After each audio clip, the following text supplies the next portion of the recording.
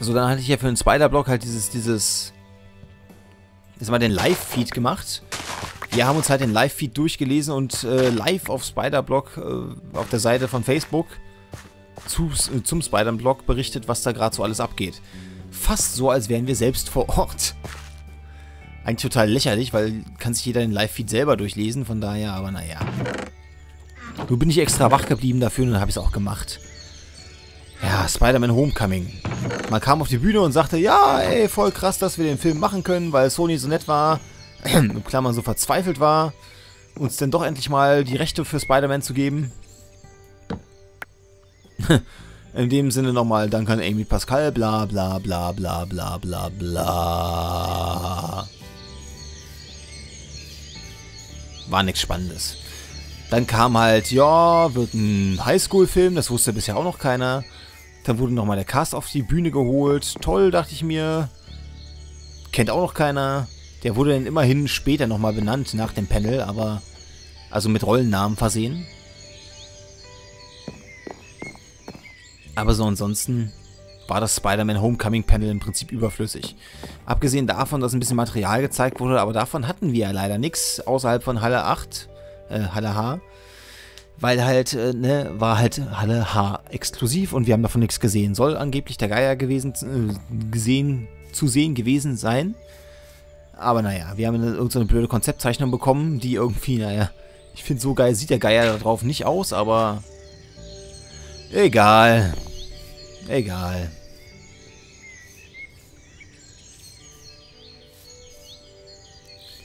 Das Videomaterial, was gezeigt wurde, wurde beschrieben als ein Tag im Leben des Peter Parker. Ich habe mir da mal so eine Zusammenfassung durchgelesen, klang recht interessant, aber ich glaube halt nicht, dass es so ach so toll und cool wirkt, bevor ich es nicht selber gesehen habe. Von daher Marvel irgendwann mal sowas wie, wie Material leaken versehentlicher kann ja nicht schaden, ne?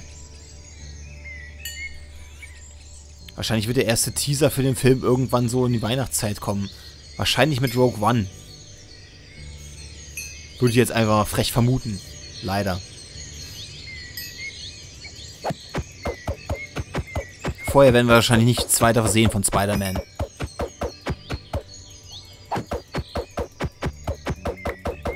Und wie lustig, wenn die Kühe nicht um ihr Leben schreien. weiß nicht, was ihr macht. Ich schlag nur auf euch ein. Ich hoffe, dass das Schwert das noch eine Weile durchhält. Wahrscheinlich weniger und ich darf gleich mit einer Axt vorgehen.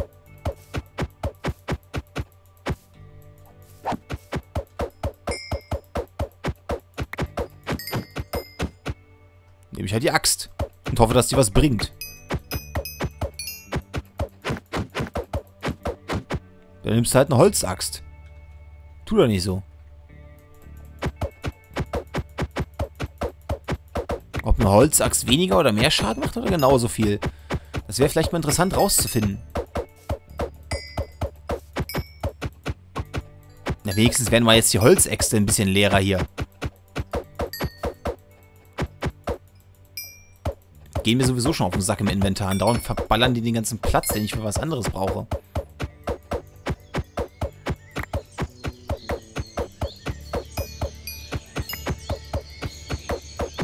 Ah, ist doch ein schöner Morgen, so mit Genozid an Kühen. Also mittendrin ein bisschen was einsammeln.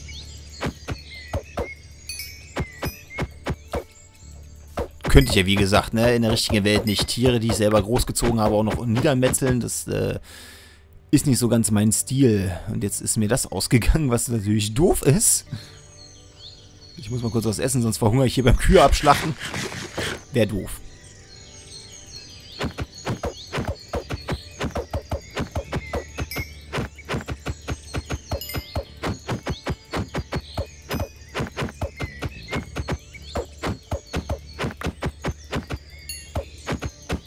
Kommt, rammelt mich an. Versucht es doch. Ich wollte schon sagen, ihr Schweine, aber ihr seid ja Kühe.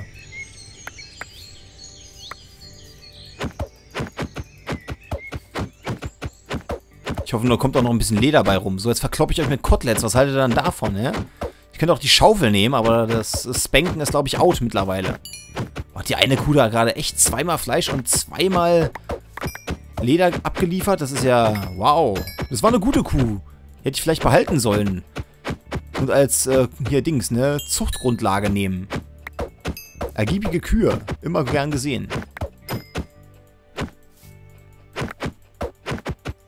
Ich glaube, ich habe die jetzt alle schon so krass vorbearbeitet mit der Axt, dass sie jetzt beim leisesten Hauch meiner Faust umfallen. Ist ja nicht so, als wäre ich der Prinz aller Saiyajin oder so, der das einfach mal so machen könnte mit Fist, Fist, Fist, Fist, Fist, Fist, Fist, Fist, Fist. Oh, es könnte mal langsam in die nächste Dragon Ball Super Folge rauskommen. Da war jetzt eine Woche Pause. Ist anstrengend, möchte ich meinen. Dafür hat One Piece nächste Woche mal wieder eine Kapitelpause. Das ist echt, ey. Was die mal mit ihren Pausen haben, die Japaner. Vor allem immer so willkürlich, wie mir scheint.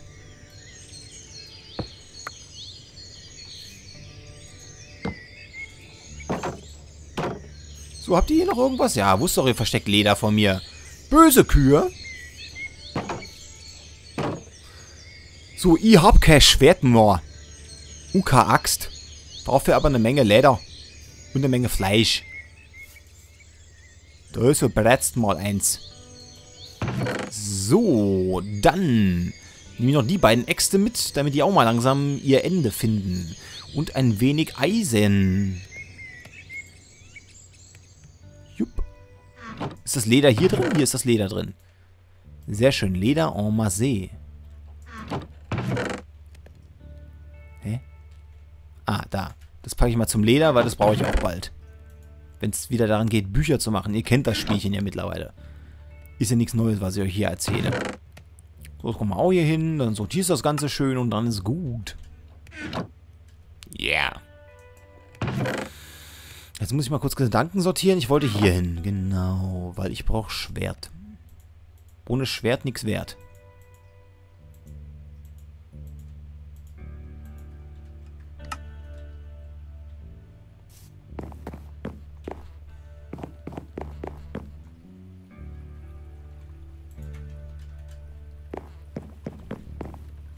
Ich pflanze mal gleich mal wieder ein paar neue Dings hier. Schatteneichenbäume in der Hoffnung, dass die sich äh, ausgefaltet haben, bevor ich zurück bin. Eins, zwei. So, guck mal hier weg.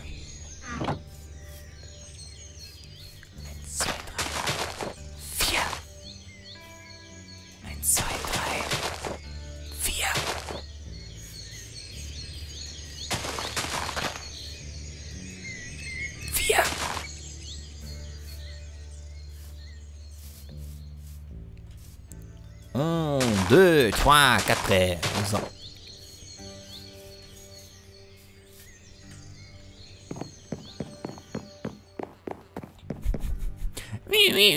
Jetzt mal, wenn ich hier rüber renne, dann denke ich mir, ich, ich trete irgendwie auf eine Quietscheente drauf oder so.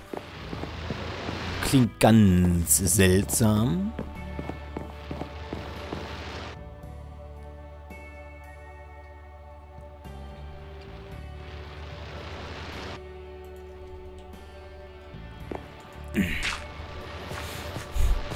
Naja, wie gesagt, bei Spider-Man Homecoming ist nicht viel bei rumgekommen, leider.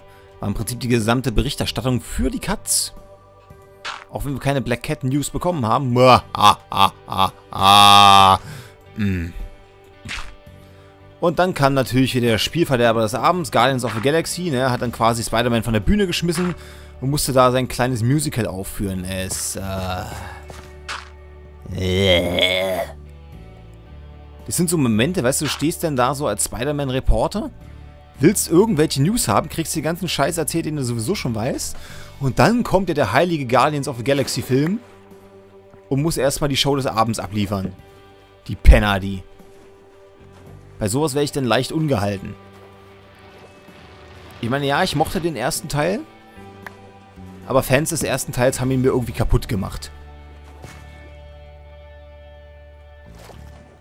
Weil die haben den sowas von überpriesen, dass es irgendwann einfach nur noch lächerlich war. So fällt gleich wieder der, der, der super krasse Typ auf mich runter und macht... Nee. Nee. Sein Glück.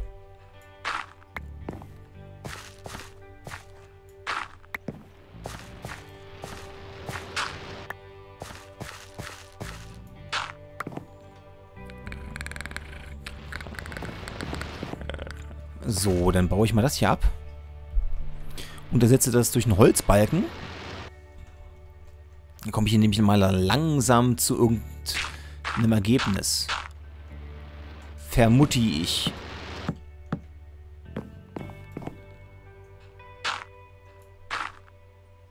Der kann eigentlich auch weg, ja, doch, kann auch weg, der Kram.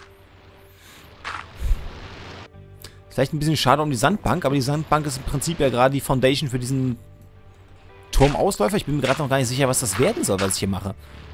aber ich mache erstmal, ne? Vielleicht wird das denn hier mein Leuchtturm. Bevor ich da unten Rapture reinbaue. Ha. Das wär's eigentlich für diese Schmälerung, die mir diese Viecher hier aufgedrückt haben, müsste ich jetzt eigentlich deren Haus da inversieren und in eine Unterwasserstadt umbauen. Das fände ich eigentlich ganz geil. Also müsste ich denn dazu machen? Ich glaube, die Viecher, die spawnen nur im Trockenen. Äh, nur da, wo Wasser ist. Andersrum, also gerade nicht da, wo trocken ist. Da sind sie wieder, die Penner.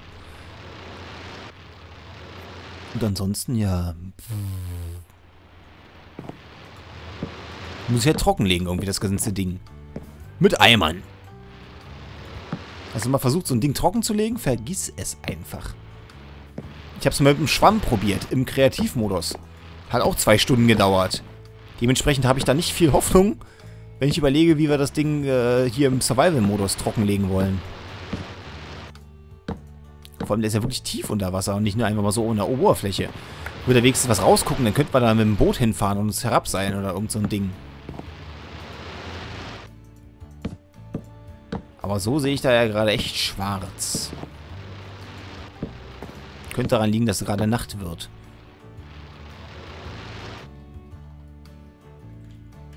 Ich renne mal zurück zum Battleshin. Weil ich das mal langsam herholen sollte, damit ich nicht jedes Mal nach da hinten rennen muss. Und ich könnte die Fackeln hier auch am Rand mal anbringen, damit es heller ist.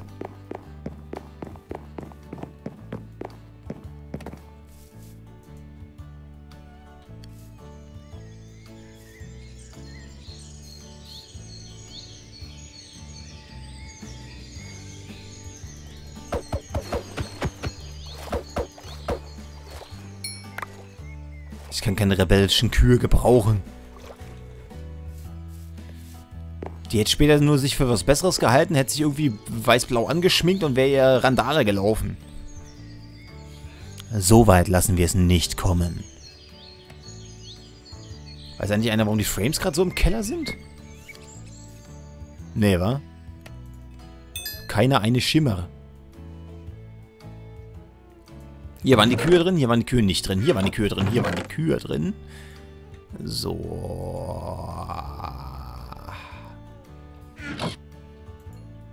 Kommen noch zwei.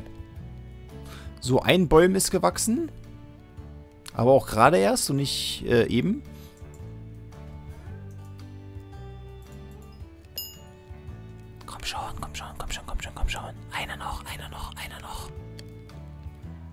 Bam! Da hast du. Her damit. Da so, neuer Stack.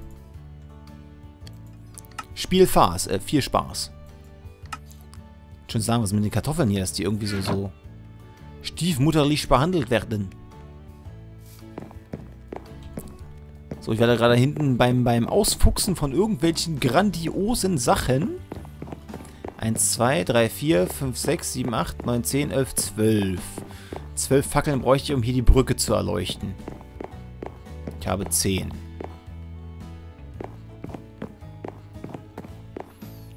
Was ist das für eine beknackte Sache, die ich hier gerade umsetze? Alles, was ich habe, ist irgendwie so, ein, so ein riesengroßes äh, Kreislein, das um ein Wasserloch ist. Das ist gerade die Architektur an diesem Ort hier. Hoffweise Kreise um Wasserlöcher rum.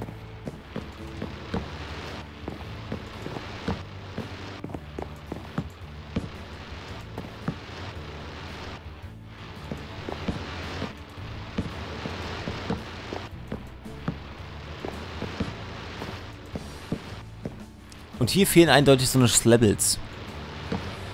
Und einem Auto Slaps. Mist.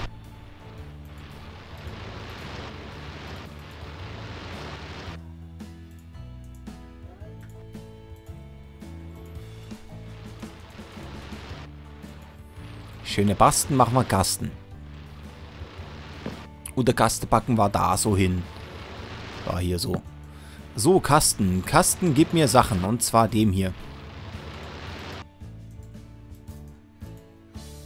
Da, so. Danke, Kasten. Vielleicht ein bisschen viel, aber das werde ich ja dann sehen. Aufpassen, dass mir nicht schon wieder das Ding auf den Kopf fällt. Sie haben Löffel. Was? Sie können nicht mehr minen. Oh, das nervt mich am Auge. Das da unten. Extremst. Aber komme ich gerade nicht ran, oder dass dieses Mistvieh mich nervt. Vielleicht mit TNT? Nee. Gerade etwas zu drastisch, würde ich behaupten. So, was haben wir denn jetzt noch so alles im Inventar? Ein bisschen kreativ werden hier langsam.